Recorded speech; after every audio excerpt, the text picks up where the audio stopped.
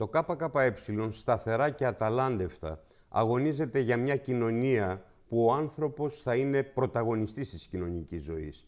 Γι' αυτό δεν μπορεί να αποδεχτεί την τοξικομανία, την κουλτούρα που τη συνοδεύει και τα ναρκωτικά ως τρόπο ζωής. Αντιπαλεύουμε την ομοποίηση των ναρκωτικών, τον αντιεπιστημονικό διαχωρισμό τους, την κυρίαρχη αστική πολιτική της δίθεν μείωσης της βλάβης που συντηρεί και θεργεύει το φαινόμενο της τοξικομανίας.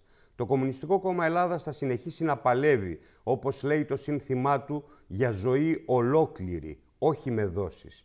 Κανένα συμβιβασμός λοιπόν με τα ναρκωτικά. Κανένα συμβιβασμός για να ξεγελάσουμε τάχα το θηρίο.